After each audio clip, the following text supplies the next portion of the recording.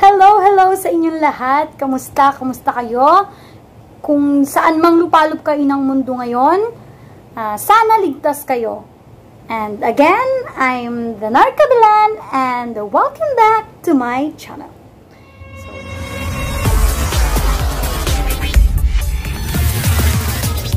Panibagong araw na naman ngayon guys and syempre panibagong pag-asa na naman ang hatid nito sa atin and ngayon, panibagong video na naman ang gagawin natin.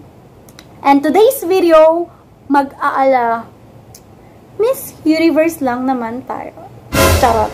Miss Universe talaga. Kala mo naman maganda eh. Pero oh no! Walay. Joke lang. So, yun nga ngayon. Kasi ang gagawin natin ay mag-Q&A tayo. Nag-post ako sa isa sa social media ko ng pwede nilang itanong kahit ano sa akin. Wag lang pera ha. Kasi wala akong pera. Oh no! Totoo yun. So, ayun nga. So, andito sa magic box na to, lahat ng mga nagtanong. And guys, ngayon pa lang, pasasalamatan ko na kayo. Thank you so much sa lahat ng mga nag-participate, sa lahat ng mga nag-comment ng tanong nila. Thank you so Malaking bagay yung effort nyo na yun, guys.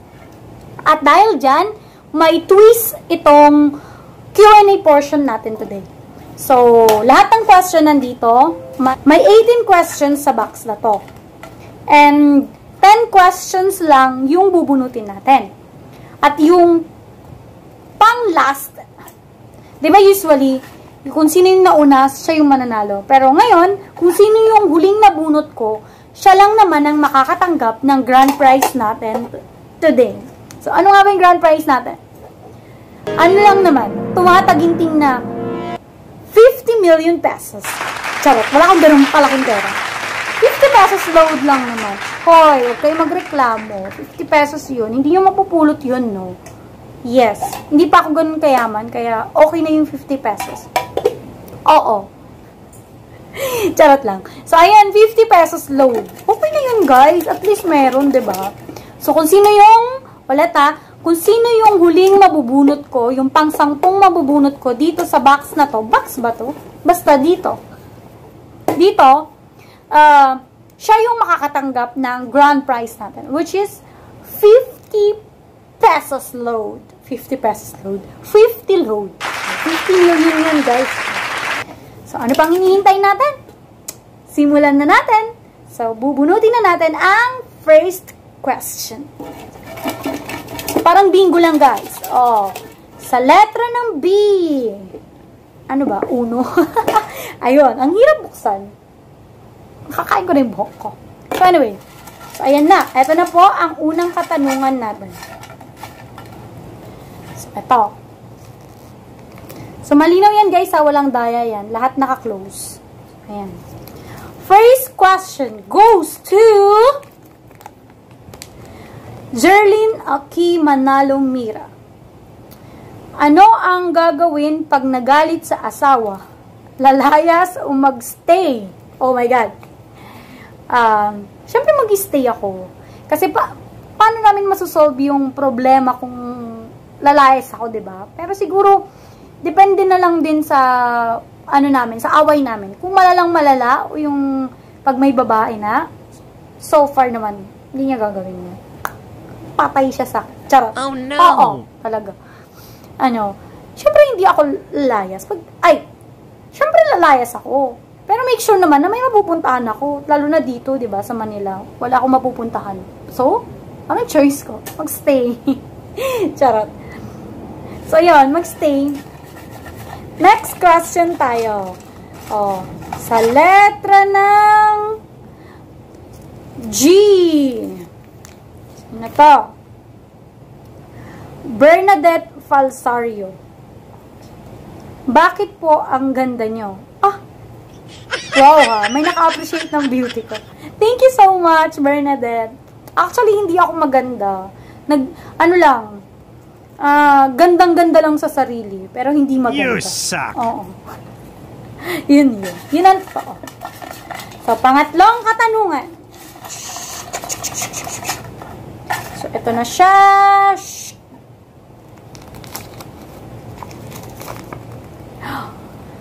Kay Jerlyn Akimanalo ulit. Ang dami niyang tanong ha. Anong pagkain mo na ayaw o gusto niya at anong pagkain nila ang ayaw o gusto mo? Grabe. Mukhang may sasagot ko dito, silver lining ha. Charot. So, ito. Anong pagkain mo na ayaw? Na ayaw nila muna. Ay, na ayaw niya. Ano? Fish, guys.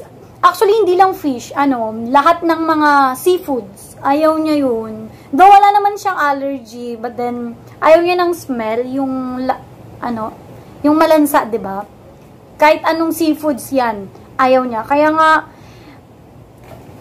minsan struggle din ako doon kasi kahit gusto ko kumain ng yung shrimp, kasi one of my favorite seafoods talaga is shrimp. Though hindi naman niya ako pinagbabawalan. Yun nga lang kasi, syempre, ang mahal-mahal ng shrimp, tapos ako lang ang kakain, parang hindi naman ata worth it yun, ba diba? Pero, okay lang din naman sa kanya. Yun nga lang kasi, pag magluluto ako doon, noon, ng pagkain ko, syempre separate yung pagkain niya, magluluto ako ulit. So, much better na lang ng isang lutuan, ba? Less hassle din. Pero kung gustong gusto ko talagang kumain ng mga seafoods, wala siya magagawa. Oo. Nababahuan ko. Ewan ko kung bakit. So, ano naman yung gusto niya? Tortang talong, guys. Oo, favorite niya yun. Tsaka, ang palaya, yung may. Pero, kailangan maanghang, ha? Yun. Yun lang naman yung gusto niya sa Filipino foods. Mm -mm. At anong pagkain nila ang ayaw ko? Ano? Siguro nung una, yung bago pa lang ako, bago ko pa lang natikman yung pagkain nila, halos sumuka ako guys. Kasi hindi, kasi bago sa panlasa, 'di ba? Hindi naman yun yung normal na kinakain ko, kaya medyo iba siya para sa akin. Siguro naman kahit sino. And ang pinakaayaw ko sa pagkain nila is yung merong uh, curry leaves. Mm. Do ngayon naman for now, lahat naman kinakain ko. So nagugustuhan ko naman na. Unless meron lang siyang uh, curry leaves yun. Kahit na anong dish, basta may curry leaves, ayoko. Hindi ko alam, ayoko ng smell, ganun. At ang pinaka gusto ko sa pagkain nila, yung dosa, yung crispy dosa, basta ano siya, ito, yan, Ganyan, ganyan yung itsura niya. And sobrang sarap, guys. Especially yung, ano niya, uh, gravy niya is, uh, chutney, ano yung coconut chutney? Yun, yun ba yun? Oo, yun. Basta walang uh, curry leaves. Pa, pero kasi nung nasa, nung nag-visit kami ng India, parang very impossible na walang curry leaves kasi lahat ng dish talaga nila meron. Unless sa bahay nila yun lang, uh, nagluluto si mami niya ng separate foods para sa akin. Or, magluluto man siya ng Indian food, pero walang curry leaves. Yun lang naman. Okay, thank you so much for that wonderful question. so, ano na? So, ito na, pang apat. Ang apat na katanungan. Ayun, nalaglang. Ito na lang. So, ito. Kay Maria Shello Akayan Magsuka. So, hello! Bakit pangalan ng asawa mo ang apelyedo mo at hindi ang apelyedo niya? So, actually guys, yung ginagamit kong kabilan, pangalan niya yon Kasi ang full name niya, Kabilan Puungundran. Pero sa kanila kasi, ginagamit is yung first name ng asawa. Kasi usually sa kanila, wala silang surname. Actually, North India and South India magkaiba. Siya sa South India. Pero sa North India, meron daw silang ginagamit na surname. Pero sa South India, wala. Uh, usually, ang ginagamit lang nila is yung initial lang ng name ng father nila. Or name ng asawa nila. Kumbaga sa Denar, K, ganun. Wala talaga silang surname. Uh, ngayon, gumagamit lang sila ng surname kasi nga sa mga documents, ganun, di ba? May naka-indicate doon, may fill up tayo dun ng kailangan may surname. Kaya, ayun, ang ginagamit na lang nilang surname nila is yung name ng asawa nila. Oo. Baka magtaka kayo, ano ba? Ay, kasi, guys, ang dami nagtatanong sa akin, bakit kabilan ang gamit mo? ba Yun ang pangalan niya. So, yun, yun yung reason. yun lang din naman yung sinabi sa akin. Kaya yun lang din naman ang share ko sa inyo guys. So, ayan. Thank you so much sa tanong na yan. So, next question tayo. Okay. Ann Mescab. Ito ang kanyang katanungan. Bakit di ka pa rin buntis hanggang ngayon? At ilang anak ang gusto nyo magkaroon? So, ayun. Actually, nape-pressure na ako dito sa tanong na to eh. Ang dami, dami, dami, dami, dami talaga. Hindi ko mabilang. Ang nagtatanong kung bakit hanggang ngayon hindi pa rin ako buntis. Ako rin, nagtataka. Charot. Joke lang. So, eto, sasagutin ko na kayo. Kasi, may mga priority pa kami. Hindi pa pagbubuntis yung or magkakaroon ng anak yung priority namin ngayon. May mga dapat pa kaming unahin. Kasi, kung isinabay namin yung pagbubuntis ko sa mga dapat naming gawin, ako lang din naman yung mahihirapan. Oo, yun lang din naman yung iniisip niya eh. Ako lang din naman yung mahihirapan mag-adjust. Kasi kailangan pa namin tapusin yung mga importanteng bagay. Mm -mm. So, secret na yun. Oo. So, ba bago, uh, bago kami mag-plan. Actually, may plano na kami kung kailan. Oo. Pero, for now, hindi muna. And ilang anak ang gusto nyo magkaroon? Ako, tatlo eh. Pero siya, dalawa lang. Para daw mabigay namin yung dapat na education sa mga anak namin. Pag tatlo daw, nahihirapan na. So, ayun, yun lang din. Pero ako gusto ko talaga tatlo. Pero tignan natin, di ba? Malay natin. So, ayun. Next question tayo. So, ito.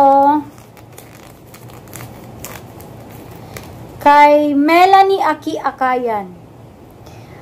May balak ka ba na mag-iba ng religion kagaya ng sa asawa mo? Uh, okay. So, ito naman ang pag-usapan namin.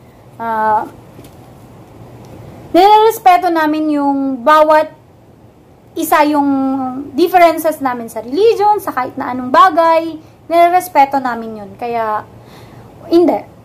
Hindi naman niya ako, uh, yung hindi naman niya ako pressure about dito, kung ano yung religion ko, yun, ba diba? May kanya-kanya kaming paniniwala. As long as isang Diyos naman na meron tayo.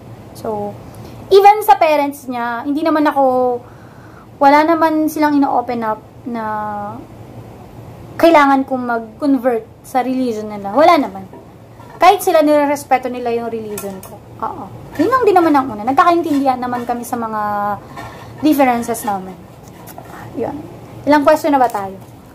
1, 2, 3, 4, 5, 6. 6 questions na tayo. So, next question. Ito na, ito na, ito na.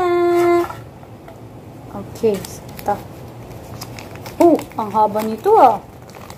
So, from Jess Aki Mishano. Gaano ka sinubok ng panahon? Wow, nobela! Gaano ka sinubok ng panahon nung ikaw ay nag-aaral? Ano-ano yung naging motivation mo para ipanalo yung nakuha mong kurso? Wow, ang lalim nito. Meaning, sa hirap ng buhay noon, paano mo nakayanan na kahit walang baon, tuloy lang, tiis lang, parang ganun. Wow, parang maiiyak ata ako sa tanong mo. Grabe, ang dami. So, unahin natin. Uy, baka naiyak ako dito, guys. Huwag naman sana. Kasi, ang dami kong pinagdaanan. Mm. Sobra. Na hindi ninyo uh, kayang paniwalaan. Ito, unang tanong niya, ano-ano yung mga naging motivation mo para ipanalo yung, or siguro para maka, maitapos ko yung kursong kinuha ko. Sorry guys, ako, kinuha ko is education. So, graduate ako ng Bachelor of Secondary Education major in Mathematics. So, ayun. Uh, Siyempre, ang una-unang motivation ko dito is yung family ko. Yung hirap ng buhay na dapat gusto ko hindi na nila maranasan yon Kaya nagpursigi talaga ako na kailangan makatapos ako sa pag-aaral. At hindi lang makatapos, kailangan makatulong ako sa kanila. So, aside from nga sa family ko, ang mas naging, na, ang naging motivation ko din is yung mga taong nagda-down sa akin. Yes, guys, meron. And sobrang dami nila. Yung hindi ko din alam kung bakit. Hindi ko rin maintindihan. Kung bina, minsan nga binabalik tanaw ko, naiisip ko pa rin sila hanggang ngayon. Doon napatawad ko na rin naman na, yung bang, hindi ko alam kung anong naging kasalanan ko sa kanila, kung bakit lagi nila akong dinadown noon, yung sinisiraan sa ibang tao, hindi ko alam kung ikakasaya ba nila yun, pero si, actually, isa sila talaga sa naging motivation ko na gusto kong ipakita sa kanila na kaya ko to, na, ala, hindi, na matatapos ko tong kursong kinuha ko sa kahit anong hirap ng buhay namin, ganoon, na inisip nila na, ah, mag-aasawa din yan, maaga rin mag-aasawa yan, kasi usually sa amin, ang daming mga hindi nakatapos, nag, si asawa na, habang nag-aaral sila, and hindi lang sa amin, maging sa ibang, ibang mga tao dyan, oo, na hindi ko alam, di na, nag, sobrang nagda-down sila. Sobrang yung ano, yung paninira nila sa ibang tao sa akin. Oo, hindi ko alam kung bakit. Shout out na lang sa inyo, guys. Pero napatawad ko naman na kayo. Oh. Yun ba, parang ang laki-laki ng kasalanan ko sa kanila para gawin yun. Even nung nagtatrabaho na ako, yung mga sila pa rin, ayan, dinadown pa rin nila ako. Mm-mm. Ko alam kung bakit. Ano bang meron ako na masyado yung chinichika-chika. Wala namang, wala namang, uh, napaka,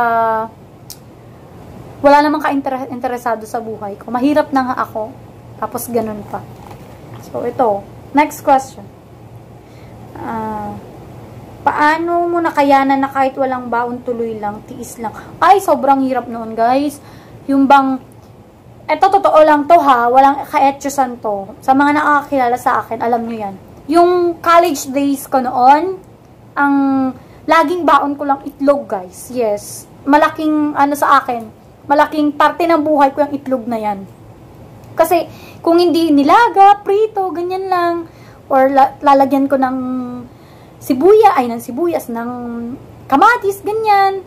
Yun lang talaga yung always na baon ko aside from wala akong baon, do libre naman ako sa pamasahe sa minibus dahil nga natatrabaho yung father ko sa minibus. And uh, kahit na walang baon, syempre tuloy pa rin. And kahit na itlog lang yung baon, as long as kasi sa akin, maraming kanin. Kasi yung mga classmate ko noon, sila naman ngayon yung maraming pagkaing ulam. So, sila, humihingi sila ng kanin sa akin kasi mahal yung kanin sa kantin. Kaya, yun lang din naman. And, basta tiis lang. Kung ano man yung nahihira, kung ano man yung nararanasan nyo ngayon, wala yan sa mga naranasan namin noon. Sobrang hirap ng buhay. Yun lang naman. So, thank you so much sa tanong na yun. Next question tayo. Seventh question. Seven na ba? 1, 2, 3, 4, 5, 6, 7, 8 na pala to guys. 8 na. Cecil Tamundong Lobrero. Lob, ano? Lobrera pala, sorry. Saan nagsimula ang kilig moments nyong mag-asawa? So, nag-start siya nung college pa lang ako. Mm -mm. Uh, common friends, uh, yung friend ko kasi, tsaka yung sister niya, mag-friend sila. So, kaya nagkaki doon kami nag, actually, yun yung way kaya nagkakilala kami. Uh, nung college pa ako. 2012, ganun, 'di ba? Ang tagal na. So, next question, 9.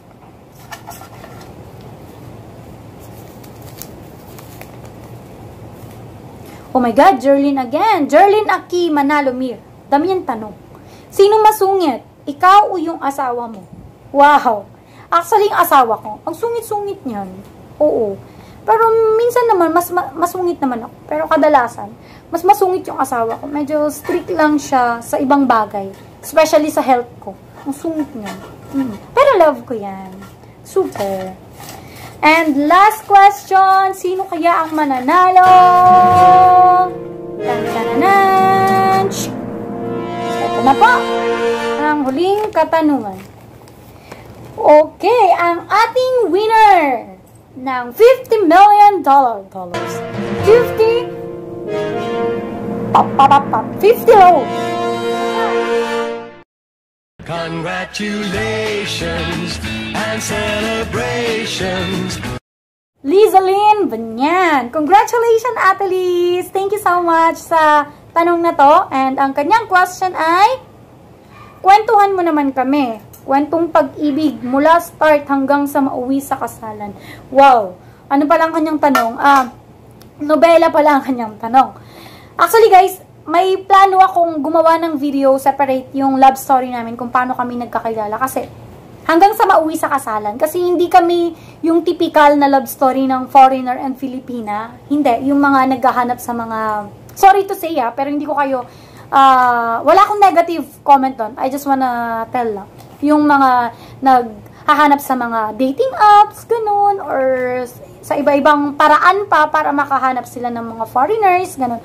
Hindi ganun yung love story namin.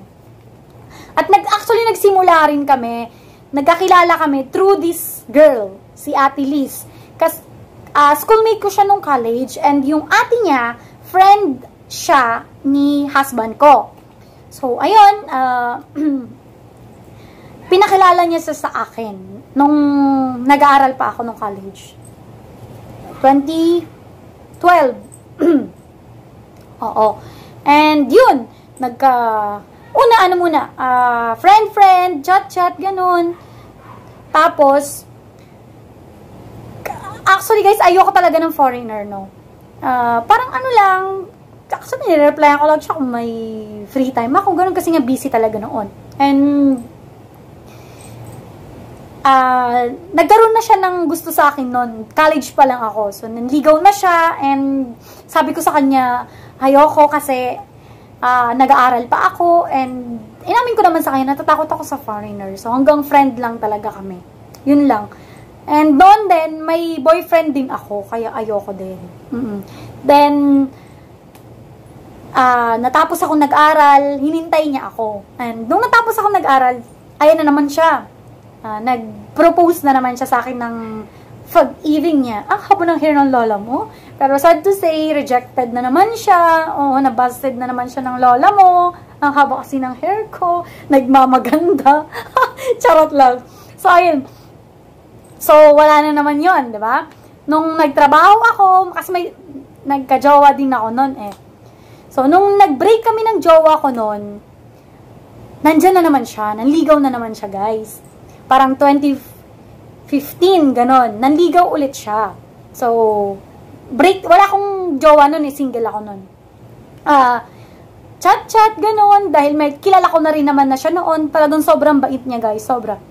Tapos, uh, may feelings na rin naman na ako sa kanya noon, pero natatakot lang talaga ako kasi nga foreigner, alam niyo naman ang isip ng mga Pilipino, na pinipirahan lang, ganyan. So, yun yung ano ko, uh, kaya nag-hold back ako sa sarili ko na mahulog na talaga sa kanya kasi nga yung mga masyado kong ano, napaka-importante sa akin yung sinasabi ng iba. So ayun. Then nung time na yon 2015, bigla naman kasing uh, nagparamdam sa akin or nagbigay ng interest sa akin yung long ano, uh, high school crush ko noon. So ayun. And syempre, kilig-kilig tayo. Filipino din. Tsaka talagang crush ko noon. So, mas pinili ko yon kaysa siya. And explain ko naman. And, ayun, busted ulit. Yung ina-expect niya na sasagutin ko siya. Pero, ang sumasama ako, di ba? You uh -uh. suck! At least in-explain ko, hindi ko sila tinutime, di ba? Ayoko nang ganun. Is one at a time. Oo, one at a time. Yun nga lang, akala niya noon, ano, uh, mauuwi sa magjowa.